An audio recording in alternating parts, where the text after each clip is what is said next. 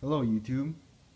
I'm going to do a review on the Wilson NCAA official game ball. This is the game ball that they use in the March Madness tournaments and other NCAA tournaments. Uh, as you can see, see. Um, yeah. It's, so yeah official basketball of the NCAA championships. So yeah, this is the actual ball that they use in the NCAA tournaments. Yeah, this is not a replica or any uh, fake one. This is the actual ball that they use. As you can see, official game ball. Um, yeah, this is the official size. And so I'm just going to go over the features of the basketball. So it has a moisture absorbing cover, uh, which is that part over there, and it gives it enhanced grip and performance. And then the exclusive microfiber game ball cover, which is this cover. Yeah, as you can see, it's very, uh, the grooves are pretty deep, which allow for very good grip. Uh, laid-in channels 100 composite cover. As you can see, uh, yeah, these uh, channels are also have uh, are also pebble, which give it extra grip. And then there's a cushion core carcass, which gives this ball uh, maximum softness and grip, which is good. So I just got this ball today, and the the the reason I chose this ball is because um, I wanted to get a good quality ball. I didn't want to get a you know a thirty dollar ball that was you know just cheap. I got a Sports Authority gift card. You know I had to use it, so um, I just decided to get a you know, expensive basketball because because uh, as I thought you know the more expensive ones are probably going to be better quality, which I believe they are. So I decided to get this one over the other ones uh, because, uh, first of all, the Wilson Evolution, which I also like, um, is used by the local gym in my area. So if I ever wanted to bring my own basketball to the gym, uh, I wouldn't want to mix it up with one of their evolution balls. Uh, for, uh, and then also, I didn't want to get a Spalding ball because most Spalding balls to me seem very slippery. The grip doesn't uh, seem like it works real well, and so that's what that's one of the reasons. Also, it just yeah, that's the main reason why I don't like Spalding balls is because they just feel so like it has a sticky feeling to it, but it's slippery.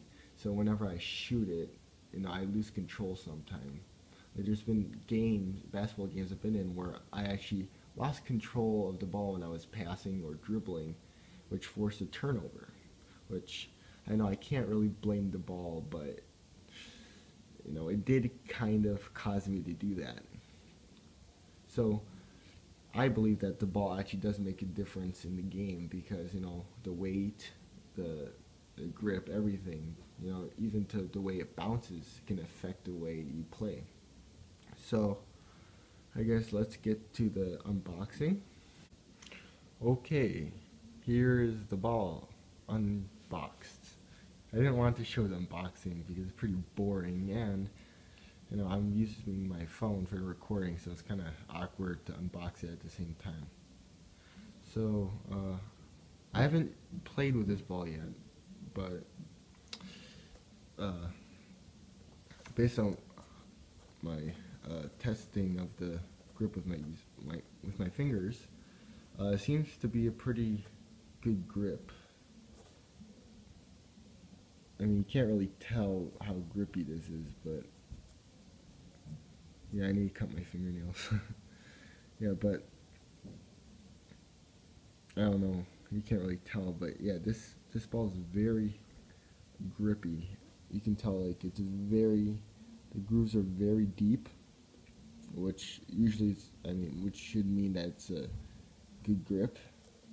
Uh, yeah, the channels are pebbled too. That's good. And I said it had a cushion core. I mean, like when I'm pressing it now, yeah, it feels pretty soft. Yeah. Yeah, I can't really explain it further because without you trying it. I mean, it just seems like a very good ball.